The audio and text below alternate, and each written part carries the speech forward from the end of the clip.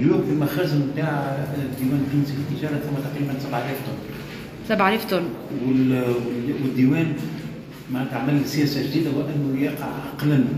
و la rationalisation des ventes معناها مش أنت تجي تحب تاخذ 100 طرنات يقول لك هي هز هاي 100 طرنات هذا. لأنه اليوم لازم يخلي لي أنا حتى اليوم دخلت الشحنات اللي قاعدة في طريقها بالنسبة للقهوة ال- القهوة اليوم آه، عندنا تقريبا 1700 طن اللي المخازن بتاع الديوان